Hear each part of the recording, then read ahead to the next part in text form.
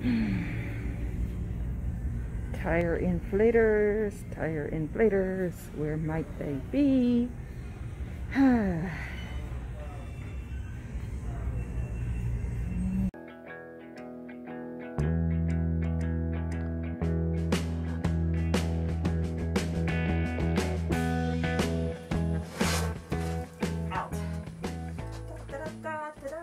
aha, aha, aha. Let's see. La la la la la. 12 gauge. 12 gauge. 120 volt.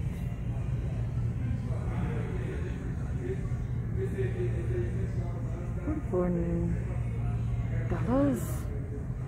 Let's check it out. Whoopsies, we're not 12 volt. I need 12 volt. Okay, here is one.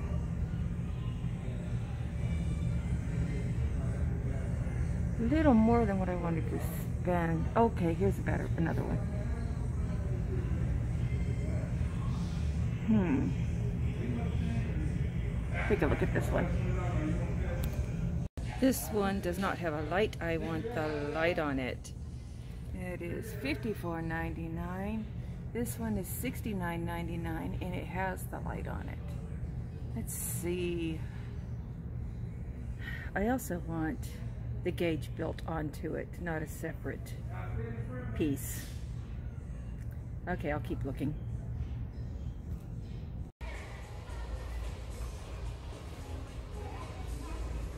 Let's see what this one's like. Nope, this one won't do either. Two things. Digital. You can't keep it in a vehicle.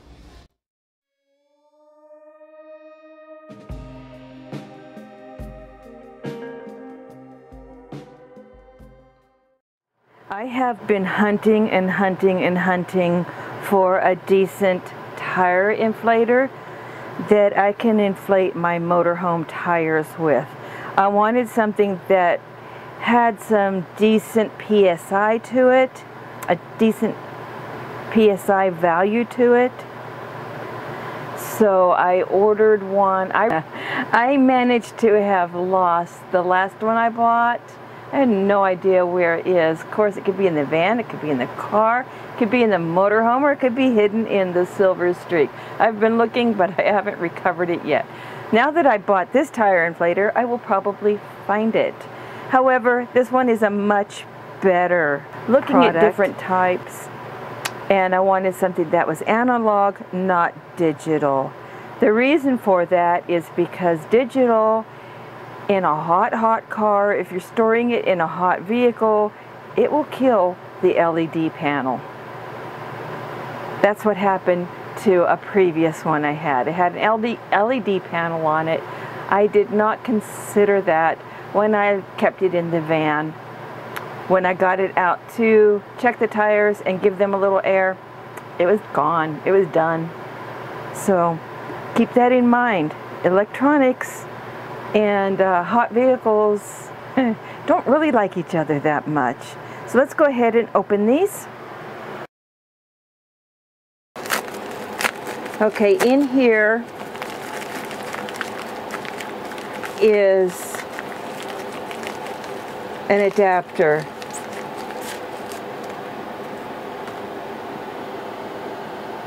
Which means I can screw this end onto the inflator and do a quick release.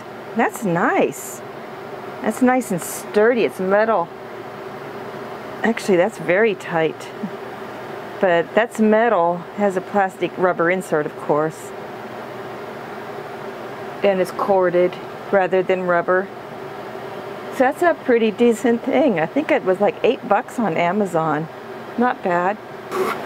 A vehicle tire inflating pump. Unfortunately, it is from China.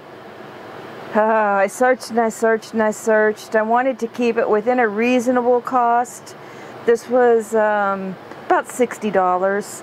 Of course, on the site it said it was for RVs. However, my RV is actually a Class C, which is still basically a van. So a small truck, motorcycle, van, SUV, car, or whatever, oh, ball, I thought that was an R. Okay, maximum pressure 150 psi.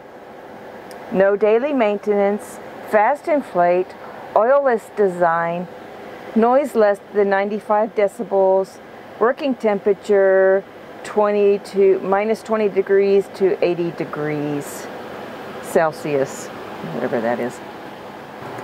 Inside the box, a battery adapter for 12 volt. So you can clamp these directly to the battery, which is generally preferred. A little cheapy looking though, but still. The coil, which I need to be able to re reach motorhome tires. Okay, let's dump this out. G, gypsum? I guess, gypsum? GSPSCN.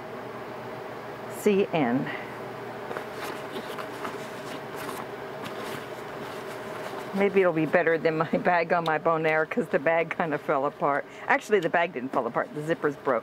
Look at that. What is that?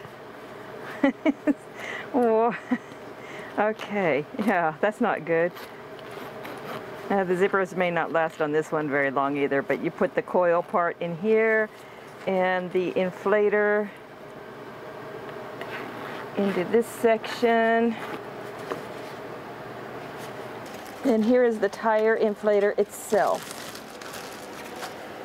Oh, and the little um, adapters. Oh, there's a nice fuse in there too. There's a plastic carrying handle.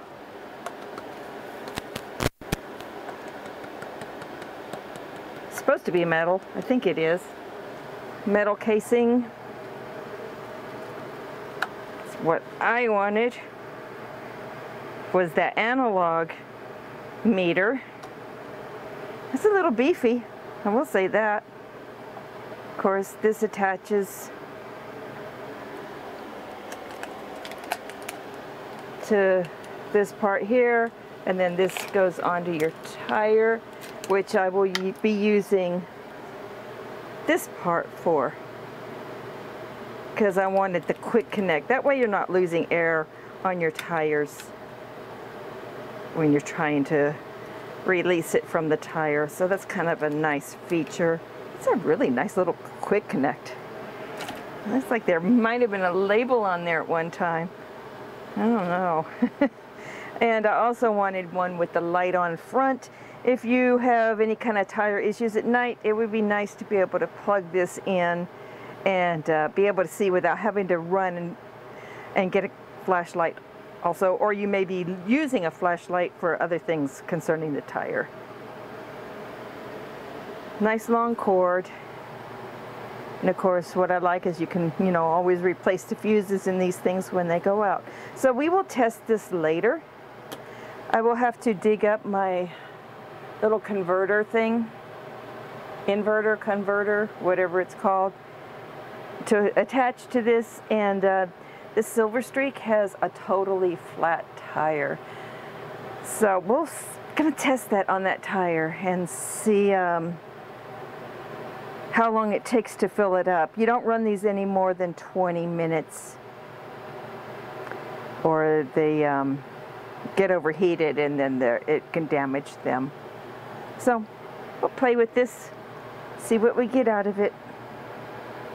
Right, here's some more information. Voltage 12 volt, amperage 25 amps, maximum pressure 150 psi, the beware of high temperature under operating. And then of course there's the inspection sticker. And it has little rubber feet on it, little metal casing around the bottom. So we'll give this a try. That's plastic. uh, and here is the paper yeah. that came along with it. After sales service, important notice and warning, and you are to run your engine if you're plugged into your cigarette lighter or you're using your battery to, you know, not to damage anything.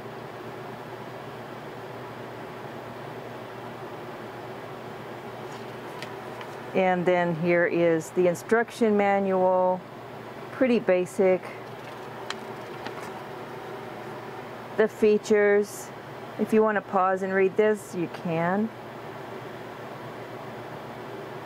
Cautions. I'm getting some glare on the paper from the light. There we go. So if you want to pause and read that, you can. And then uh, main purpose and application. Ready to give this a try. It's finally cooled down. It's later in the evening now. So I have a little 12 volt converter set up inside the RV that I'm going to plug this into. Because normally you would just plug this into your car cigarette lighter, but this is a travel trailer. Nice long cord, that's gracious. Okay, I have that plugged in. Um, let me get that little coil thing out.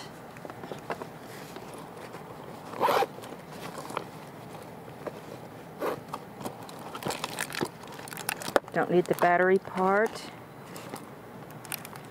Got my quick connect on it already. Tear this stuff off. I'll just pull it out of it.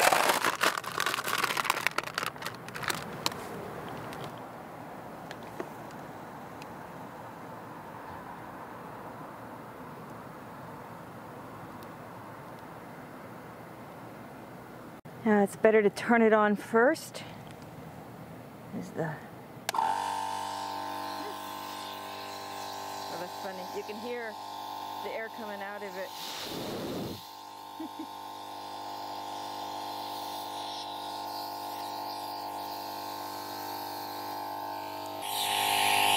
this down the ground.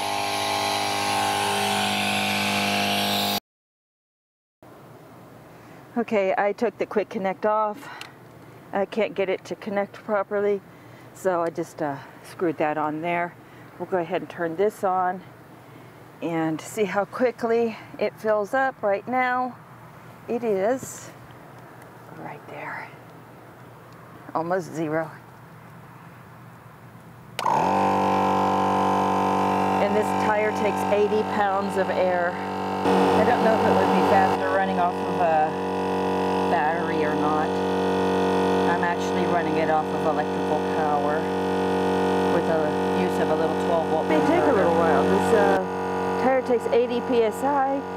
If you run it any longer than 20 minutes, then you have to give the uh, inflator a break. You can see the tires filling up, which is good. It's a shame they bent that rim. My spare tire to this has the rim on it also. So I'll have to take it off, get this to a tire shop and have them mount, because these are new tires, have them mount this tire onto the other rim. And then uh, one of my friends said that places can straighten this rim back out. But yeah, it's not good. Yeah. Don't go to Walmart for these things. That's who messed it up. If I'm not mistaken, I think the motorhome tires um, might take around 80 psi also. I'm not positive, but I bought this at 150 psi just to make sure it was strong enough to keep up with uh, different tire pressures and it has a stronger rate at it. Making a little bit of a whiny noise.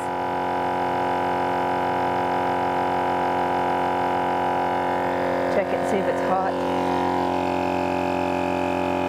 That's hot. That's really hot.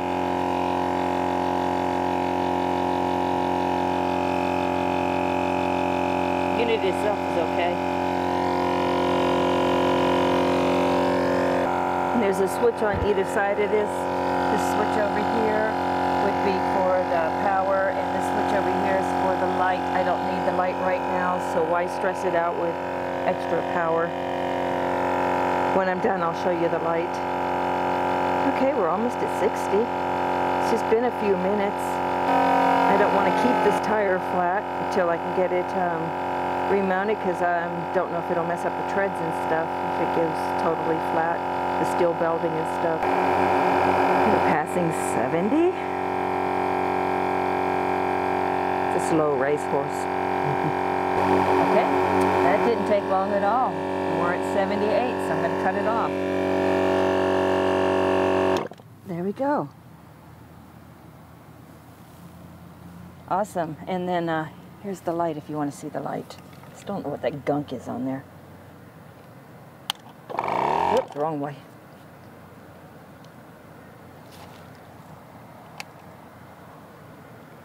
There we go. So pretty cool little gizmo. Like uh, 50 bucks, 60 bucks, about 60 bucks. Okay, let's unhook it. Mm, too bad the quick connect didn't work the way I thought it would. Eh, that's not harmless.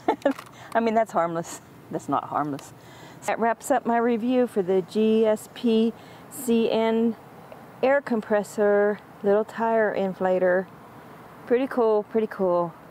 Uh, tires are rather one of the most important things on a vehicle, RV, travel trailer, anything that has tires, they're important. So this is a part of uh, tire maintenance. So I will catch y'all later and live the life you love. Bye.